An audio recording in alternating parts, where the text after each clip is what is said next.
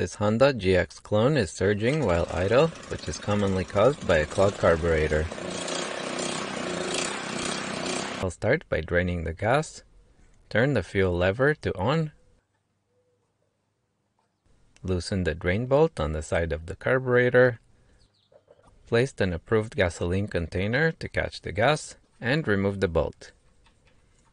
Make sure to do this in a well ventilated area, preferably outdoors, away from heat and ignition sources for safety. Now remove the air filter cover. Remove the air filter. Remove the two air filter assembly nuts.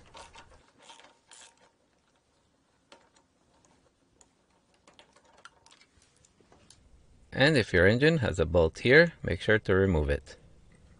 Now disconnect the hoses at the back. And the assembly should slide right out. Next, push the throttle all the way to the right to release the tension on the governor link. Push the spring out. And with the plastic arm turned all the way clockwise, pull the governor arm up to take it out. Now to disconnect the fuel hose, squeeze the clamp open with pliers and pull the hose off.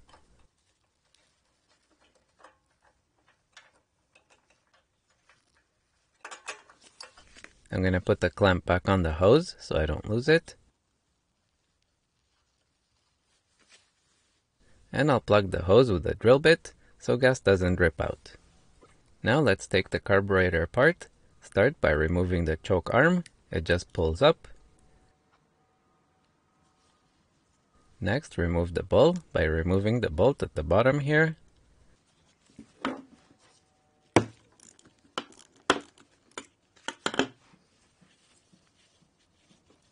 There's a small gasket on this bolt, make sure that it doesn't fall off. Now take the bowl out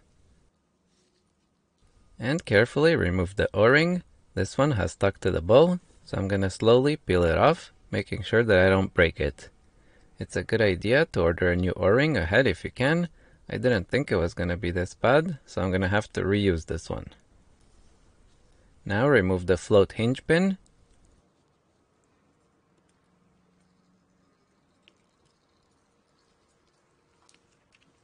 And pull the float up being careful that the needle doesn't fall out. If you need to remove the needle, just slide it out, but be careful because the spring will pop right off. To put it back in, put the spring on first, and slide it back on the float, and make sure that the spring is working properly. I'll remove the main jet now. To unscrew it, use a flathead screwdriver with a narrow end. Make sure not to force a screwdriver that's too wide inside because it will damage the threads. Here's the jet. I can see through the hole in the middle, so it's perfectly clean. Now I'm going to tap the bottom to try and get the emulsion tube out. It won't come out, so I'm going to put a screwdriver in from the side and push down on the tip of the tube.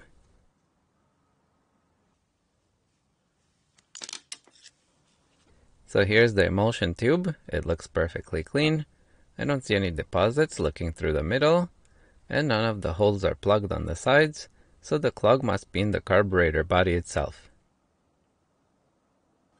The bowl was also very clean. Typically, you'd see deposits on the bottom here. Alright, so let's clean the parts with the ultrasonic cleaner and see what comes out. I'm to use the scented pine sol, but I recommend using original pine sol if you can find it. I find that it cleans better than the scented one, but this is all I have right now. I'm to fill up the ultrasonic cleaner halfway with the pine sol and the other half with water. Now I'm to run the cleaner for 10 minutes. The pine sol solution is starting to get cloudy, which indicates that deposits are being cleaned and coming out of the carburetor.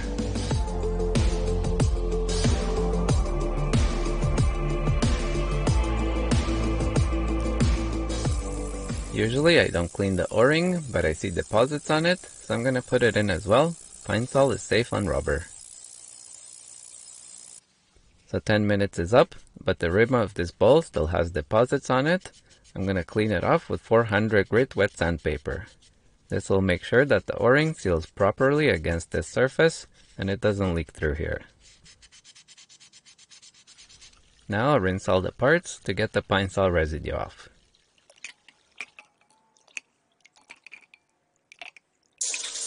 And I'm going to dry everything off with compressed air.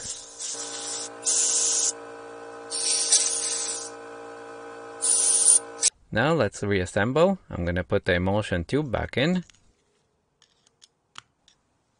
and reinstall the main jet. It should turn easily while screwing it in at the beginning. If it doesn't, just back out a little bit and try again.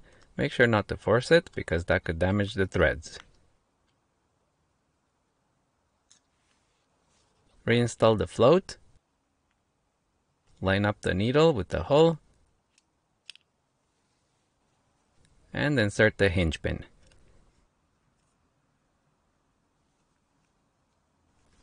Install the o-ring back in the groove and put the bowl back on, making sure to line up the drain bolt so it can be easily accessed later. Now reinstall the bottom bolt and tighten it down.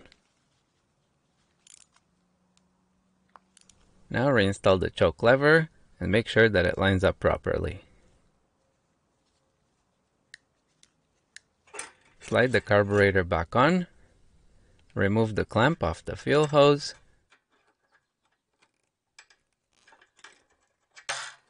Slide it over the fuel inlet.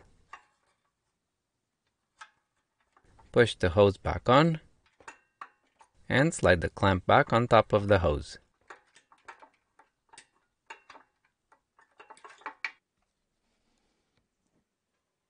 Now reinstall the carburetor linkages.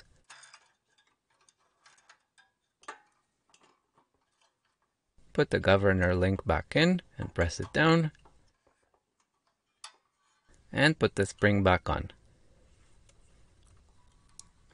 And make sure to test it to ensure it's moving freely. Now to reinstall the air filter assembly, reconnect the top hose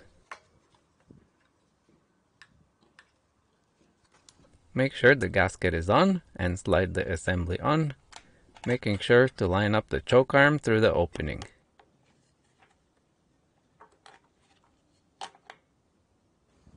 Now reconnect the other hose at the back.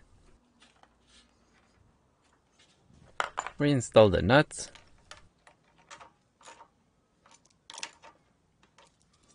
Install the air filter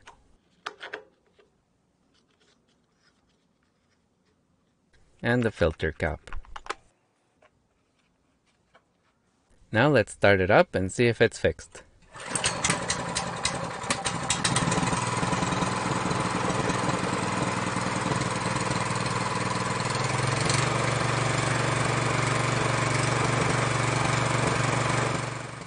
So the engine's running very good now, it's not surging anymore. The carburetor cleaning has fixed the problem. If you like this video, please make sure to give it a thumbs up, it really helps out my channel, and consider subscribing. I'll be posting more car, home, and other repair videos in the future. Thanks for watching!